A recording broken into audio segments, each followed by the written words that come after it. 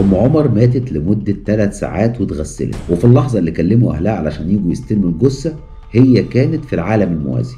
تعالوا نشوف. 2015 بتبدأ حكاية أم عمر. اللي هيسمع حكاية أم عمر هيتوقع حاجتين إنها قصة من قصص العائدون من الموت والقصص دي هنت يعني هنتناولها كتير ونتكلم عنها كتير.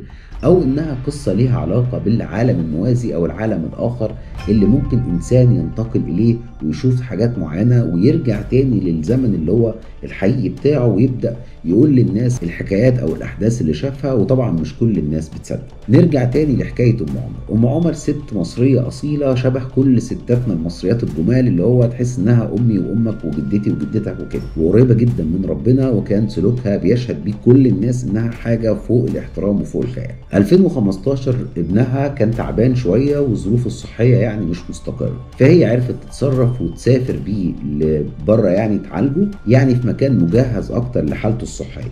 وهي مسافرة وما فيهاش أي حاجة صحتها كويسة جدا ويعني بتعاني من من أمراض العمر لأنها عندها 50 سنة فبتعاني من أعراض العمر ده الطبيعية اللي هو وارد تحصل لأي حد في العمر ده. المهم دخلت ابنها المستشفى واستقر وهي نزلت الشارع ومعاها مترجم لأنها في أحد الدول الأجنبية يعني فبتتكلم بلغة تانية. ومعاها مترجم وهي ماشية في الشارع وقعت. أغمى عليها تماما. أول ما جم الناس اتلمت واتخضت ونقلوها على المستشفى ف كل الحاجات بتقول إنها ماتت. خلاص القلب متوقف كل الوظائف الحيوية متوقفة هي مش موجودة هي ميتة. أنا هكمل حكاية الوصف بتاع الموت وهك... وهرجع تاني بقى أكمل لكم إيه اللي حصل ساعتها على لسان أم عمر يخليك تفهم إنها كانت في حياة موازية. المهم ماتت فعلا وخلاص وما فيش أي حاجة خالص عرفوا إن هي مسلمة فاتغسلت وهي بتتغسل بدأت أم عمر بقى تحكي حكايتها. إنه هي بتتغسل كانت حاسة بكل حاجة عادي. يعني هي كانت حاسة إنه في ناس بتلمسها ومش فاهمة الناس دي بتعمل كده ليه. وهي كل اللي كان في دماغها ساعتها إنها نفسها تقابل ربنا وهي مرضي عنها يعني وإنها ما يبقاش عندها مشاكل والكلام ده كله. وكانت بتتكلم إنه الزعل الحقيقي اللي كان جواها ساعتها له علاقة بإنها بتفارق أهلها وحبايبها وأولادها. ولحد هنا وخلاص. وفعلا خلاص هي يعني ماتت واتغسلت وبلغوا أهلها إنها ماتت. نرجع بقى لطريقة كلام أم عمر عن اللي حصل بالظبط ساعتها.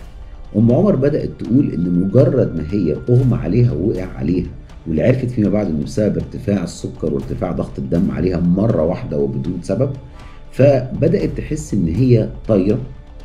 فوق السحاب يعني كأن هي فوق السحاب بالظبط وطايرة وعادي مفيش أي حاجة خالص. وشايفة كل حاجة بتحصل والناس اللي موجودين حواليها لكن هي في حتة تانية خالص ومش ومش فاهمة الناس دي بتعمل كده ليه.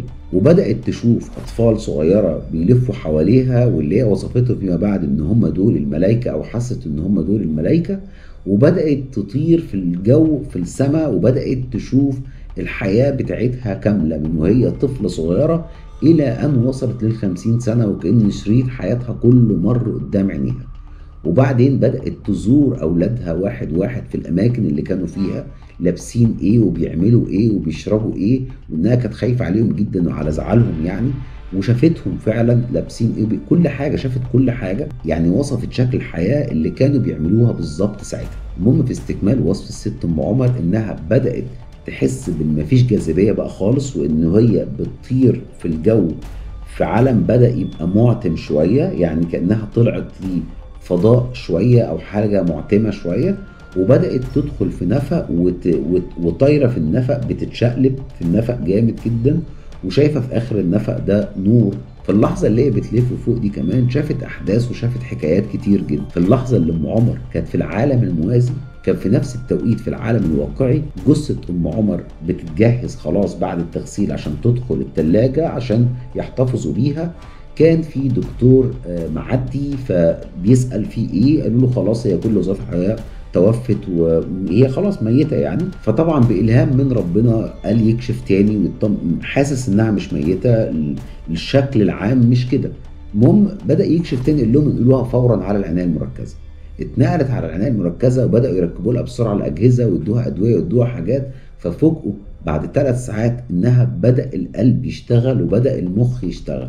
هنا إحنا في العالم الواقعي. العالم بقى الموازي حصل فيه إيه؟ أم عمر ساعتها بتحكي إن في لحظة ما هي اتحطت جوه العناية المركزة هي كانت شايفة نفسها. وكانت حاسة بإيد ماسكة إيديها بتطمنها بتقول لها ما تخافيش ما تقلقيش كده. وكانت حاسة بإيد تانية بتمسح دموعها لأنها كانت بتعيط. وعلى حسب وصف أم عمر إنها كانت مرتاحة جدا بس هي حست إنها عاشت في عالم غير العالم. هي شافت عالم تاني. بدأت أم عمر تعود للحياة الطبيعية تدريجيا. طبعا بعد رحلة علاج استمرت 8 أيام جوه العناية المركزة. أول ما رجعت فاقت تاني فبدأوا يطمنوا عليها انت حسيتي بإيه؟ انت كذا هي بدأت تسأل إيه اللي حصل؟ أنا فين؟ أنا كذا حكوا لها اللي حصل. قالت لهم مستحيل أنا كنت عايشة أنا كنت بتحرك أنا إزاي؟ كنت بتعملي كده إزاي؟ فابن من أبنائها وصل وبعد ما وصل اطمن عليها إنها عايشة فقالت له أنا شفت كل حاجة.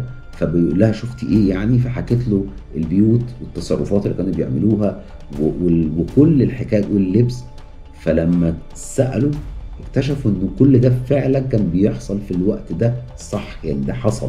ولما حكت للدكاترة وللممرضين أحداث حصلت يعني واقعة حصلت حدث حصل هي فعلا حصلت على أرض الواقع. فكان الغريب إن دي جثة ميتة. خلاص ماتت. وبدأ نشك إنها احتمال تكون تدب فيها الحياة تاني فدخلناها العناية المركزة. ولكن هي على أرض الواقع هي جثة موجودة على السرير. وبناء على وصف ام عمر للي شافته بيأكد إنها اتنقلت لعالم موازي شافت فيه حاجات كتير وحكتها والناس لقوها حقيقية وحصلت. في نهاية قصة أم عمر أنا رأيي الشخصي إن أم عمر انتقلت لحياة موازية لأنها شافت حكايات وشافت أفراد وشافت أحداث حقيقية. فعشان كده ما أقدرش أوصف حكاية أم عمر بأنها العائدون من الموت.